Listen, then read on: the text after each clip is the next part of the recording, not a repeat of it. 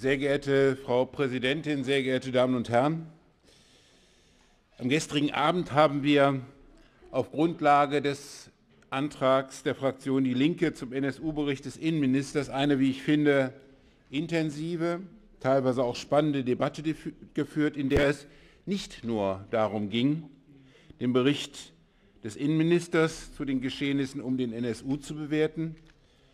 Und es ging auch nicht nur darum, die Berechtigung oder auch Nichtberechtigung eines parlamentarischen Untersuchungsausschusses zu debattieren, sondern in der Debatte oder die Debatte ging über diese beiden Punkte hinaus. Es ging vor allem auch um die Frage, inwieweit die Behörden in Mecklenburg-Vorpommern bei den Ermittlungen zum Mordfall Mehmet Turgut und zu den beiden Banküberfällen in Stralsund Fehler begangen haben. Vor allem aber wurde auch die Frage aufgerissen, inwieweit wir mit der bestehenden Sicherheitsarchitektur in Mecklenburg-Vorpommern richtig und gut aufgestellt sind. Eine Frage, die sich seit Monaten auf Bundesebene und auch auf Landesebene gerechtfertigterweise stellt. Wir haben gestern auch darüber debattiert, ob das öffentliche Interesse zu diesen Vorgängen nachgelassen hat und ob die Aufarbeitung beendet ist oder fortgesetzt wird oder fortgesetzt werden muss. Ich glaube, hier hatten wir große Einigkeit, dass das geschehen muss. Und es stellte sich in der Diskussion die Frage, welche Konsequenzen aus dem Agieren der Sicherheitsbehörden im Zusammenhang mit den Mord- und Terroranschlägen des NSU zu ziehen sind. Sehr geehrte Damen und Herren, seit dem Herbst 2011 findet bundesweit eine intensive Diskussion um die Perspektive des Verfassungsschutzes statt. Dem wollen wir uns mit dem vorliegenden Antrag ausdrücklich stellen. Ich sage an dieser Stelle, wir sind da nicht alleine. Das geschieht auch auf der Ebene anderer Bundesländer.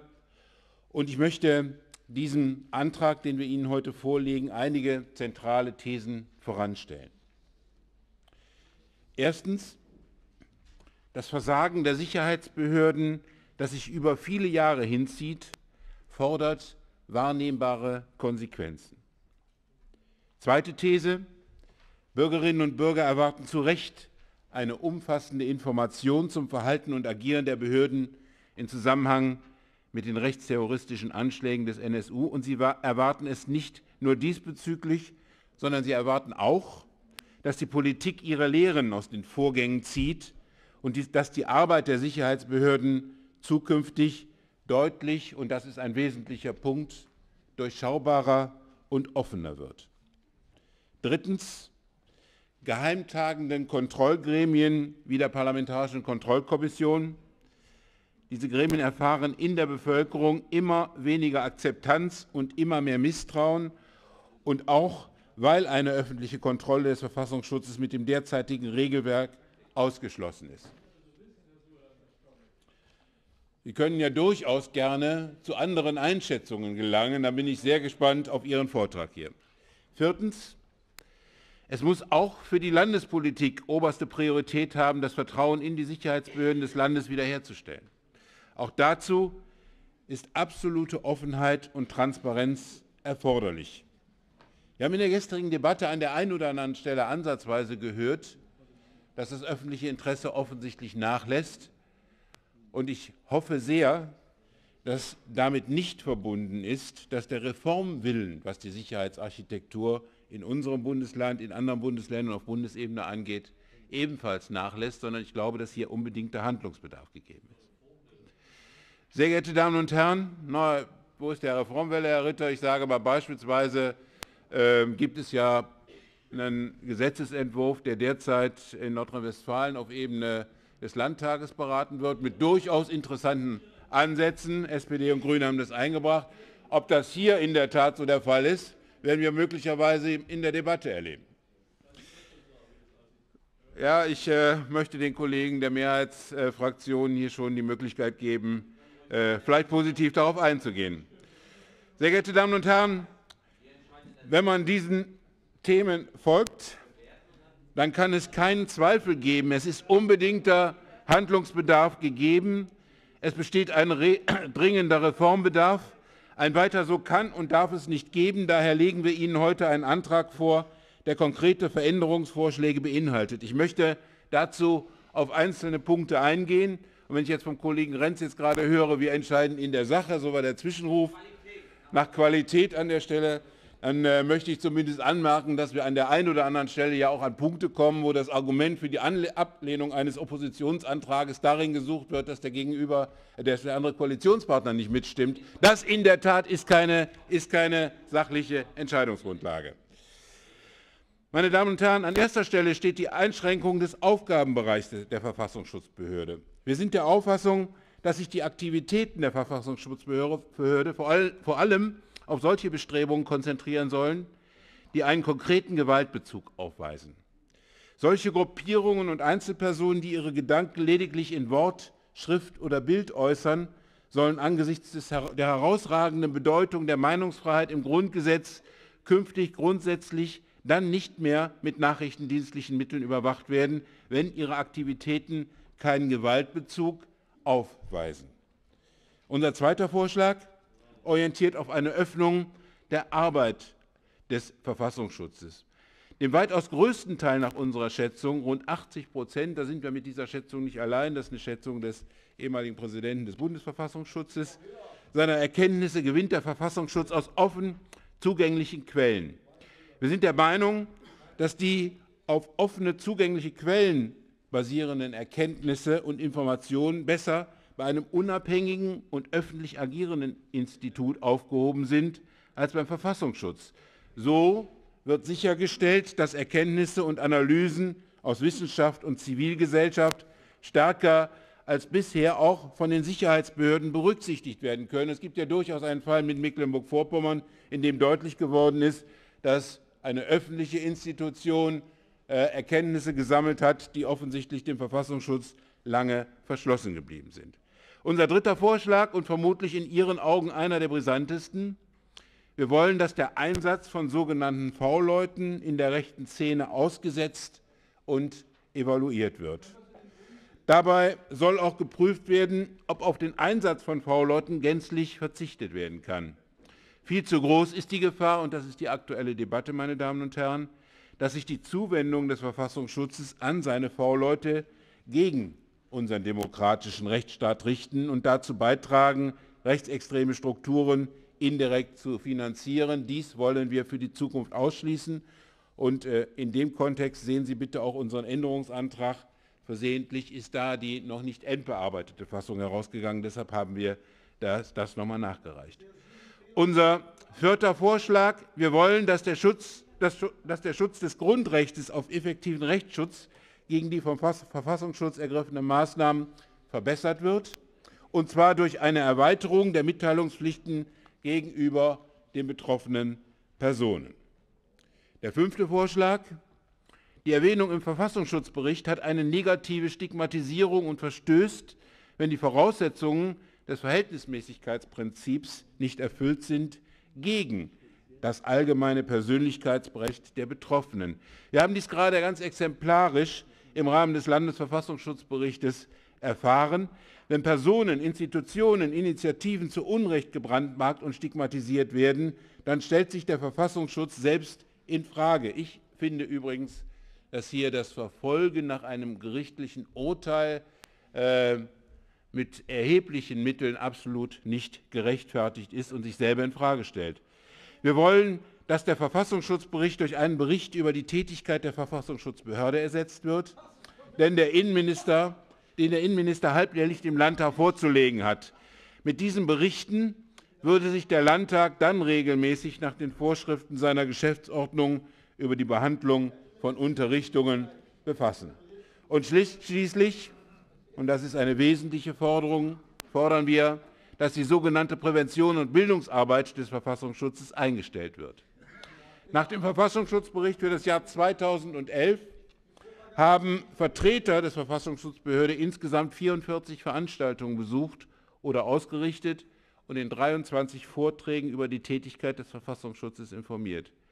Zu den Hauptinteressenten zählten, so der Verfassungsschutzbericht, vor allem auch Schüler und Lehrer.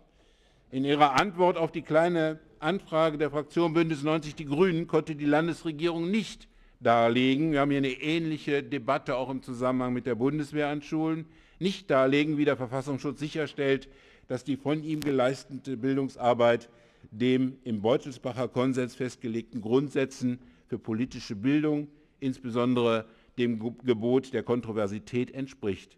In der Antwort auf die Anfrage der Bündnisgrünen-Fraktion heißt es lapidar, die Vortragstätigkeit erfolgt ausgewogen und unter entsprechender Berücksichtigung der in der Frage genannten Aspekte. Sehr geehrte Damen und Herren, Rolf Gößner, der Vizepräsident, ich komme jetzt sofort zum Ende. Der Vizepräsident der Berliner Internationalen Liga für Menschenrechte hat den Verfassungsschutz einmal als Fremdkörper in der Demokratie bezeichnet. Dass sich das ändert, können Sie, äh, können Sie nachvollziehen in dem Moment, wenn Sie diesem Antrag zustimmen. Herzlichen Dank. Sehr geehrte Frau Präsidentin, sehr geehrte Damen und Herren, werter Kollege Dachner, zunächst mal, ich möchte auch gerne mit etwas Positivem anfangen. Sie haben das ja vorhin auch getan. Und äh, mich hat wirklich aufrichtig gefreut, dass Sie sich in Vorbereitung auf diesen Tagesordnungspunkt doch offensichtlich intensiv nicht nur mit grüner Programmatik und äh, Beschlüssen von Landesdelegiertenkonferenzen, sondern offensichtlich auch äh, zumindest gedanklich mit dem Innenleben meiner Partei auseinandergesetzt haben. Genau. Ja. Na, das, äh, ein bisschen sind Sie auch grün, haben Sie gerade gesagt. Das vermag ich nicht stetig zu erkennen, auch die Ansätze, die muss ich wirklich suchen, aber äh, was nicht ist, kann ja vielleicht noch werden. Ähm, allerdings kommen Sie in Ihrer, in Ihrer Einschätzung zu einem völlig, völlig falschen Ergebnis. Und wenn Sie den Antrag gelesen hätten, dann hätten Sie das, oder aufmerksam gelesen hätten, dann hätten Sie das, glaube ich, auch entdeckt. In der Tat finden Sie in unserem Antrag nicht in der Konsequenz die Forderung nach der Auflösung des Verfassungsschutzes. Und ich kann Ihnen auch sagen, warum Sie das nicht finden. Einmal traut sich diese Landtagsfraktion der Bündnisgrünen durchaus eine eigene Position zu. Vielleicht ist ja in der SPD so, dass die Landtagsfraktion eins zu eins immer das umsetzt, was möglicherweise auf Parteitagsebene beschlossen wird. Bin mal interessant, wie Sie das denn umsetzen, was jetzt am Wochenende geschehen ist. Äh, zum Zweiten, zum Zweiten, zum Zweiten ist es so, ich kann Ihnen versprechen, wir werden auch ohne Landesdelegiertenkonferenzen im Hintergrund das Thema Verfassungsschutz und Weiterentwicklung der Sicherheitsarchitektur in diesen Landtag hineinbringen. Das tun wir nämlich aus inhaltlicher Überzeugung und nicht deshalb, weil zufällig an irgendeinem anderen Punkt die Landespartei eine Diskussion darüber führt. Und ich will mit etwas weiterem beginnen, etwas Positivem, äh, weil ich an einem Punkt, der damit in Zusammenhang steht, Herr Innenminister, durchaus ganz nah bei Ihnen bin. Das ist meine persönliche Auffassung, die will ich hier auch kundtun. Die Frage des Trennungsgebots, und genau deshalb steht hier die Forderung nicht drin, die muss zunächst mal beantwortet werden für den Fall, dass jemand die Forderung erhebt, den Verfassungsschutz aufzulösen. Solange diese Frage, wo die Kompetenzen der Beschaffung von Informationen denn hingehen sollen, nicht klar beantwortet ist und das Trennungsgebot nicht beachtet worden ist, werden Sie mich nicht auf der Seite finden derjenigen, die die Auflösung fordern. Das ist ein zentraler Punkt und in der Tat, da bin ich bei Ihnen. Aber meine Damen und Herren, die Diskussion verläuft in der Tat schon ein klein wenig eigenartig. Und ich will das an einem Punkt festmachen. Weil alle Redner und Rednerinnen der demokratischen Fraktionen haben hier den Reformbedarf anerkannt und artikuliert. Ich habe keinen gehört, der das nicht getan hat. So, und eigentlich haben wir Ihnen diesbezüglich eine klare Vorlage geliefert. Ich will den Antrag noch mal zitieren, und zwar nur im ersten Absatz. Der Landtag stellt fest, dass die Verfassungsschutzbehörde und das Verfassungsschutzgesetz einer grundlegenden Reform bedürfen. Haben Sie alle bestätigt. Der Landtag fordert die Landesregierung dazu auf, bis zum 5. Juni 2013 den Entwurf einer umfassenden Reform für die Verfassungsschutzbehörde und das Verfassungsschutzgesetz vorzulegen. Diese Reform hat insbesondere folgende Aspekte um, zu umfassen. Da hätten Sie ja mit Enthusiasmus draufgehen müssen. Selbst wenn man Bedenken hat, wie Herr Ritter, dass das in dieser Zeit nicht möglich ist. Wo bleibt denn der Änderungsantrag, wo Sie eine aus Ihrer Sicht realistische Zeitschiene dort hineinbringen? Wären wir doch offen für gewesen. Oder man hätte ja hergehen können und sagen können, der ein oder andere Punkt aus dem Forderungskatalog der Grünen passt mir nicht. Dann hätten Sie Änderungsanträge doch einbringen können. Das ist ein ganz normales Instrumentarium für diesen, diesen Landtag. Aber was, das haben sie nicht gemacht, sondern im Bausch und Bogen ziehen sie sich die Argumentation und sagen, das muss einfach abgelehnt werden, werden sie gleichzeitig immer wieder betonen, dass sie den Reformbedarf sehen. Glaubwürdig ist dies aus meiner Sicht nicht, meine Damen und Herren. Und ich will auf zwei Einzelaspekte eingehen, die mir in diesem Zusammenhang wichtig sind. Ich habe zur Kenntnis genommen, dass Sie das ablehnen wollen. Mir wurde so ein Stück weit unterstellt, eine, wie soll ich das beschreiben, Herr Kaffi, eine Vorurteilshaltung gegenüber den Behörden. Und es wurde deutlich gemacht, beispielsweise an dem einen Punkt, Bildungsauftrag oder Bildungsarbeit des Verfassungsschutzes. Uns ist, das ist nicht unsere Forderung, an dieser Stelle die Behörden zu verdammen, sondern wir haben im Antrag auf den Beutelsbacher Konsens und das, auf das Kontroversitätsgebot abgehoben. Und das bedeutet, die zentrale Frage ist, wie stellen Sie denn sicher, dass dort objektiv und neutral berichtet wird und dass die unterschiedlichen Positionen zu unterschiedlichen Inhalten, auch das, was den Verfassungsschutz angeht, dort zum Ausdruck kommen. Und ein zweiter Punkt, lassen uns doch nicht so tun, als wenn der Landesverfassungsschutz hier im Gegensatz zu allen anderen Behörden auf Bundes- und Landesebene, nur der in Mecklenburg-Vorpommern keine Fehler gemacht hat. Ich traue mich durchaus hier an dieser Stelle kritisch anzumerken, dass ich hier und an anderer Stelle sehr wohl die kritische Frage gestellt habe. Ich mache das nur ein paar Beispiele. Die, äh, die äh, Liste könnte sich beliebig fortsetzen.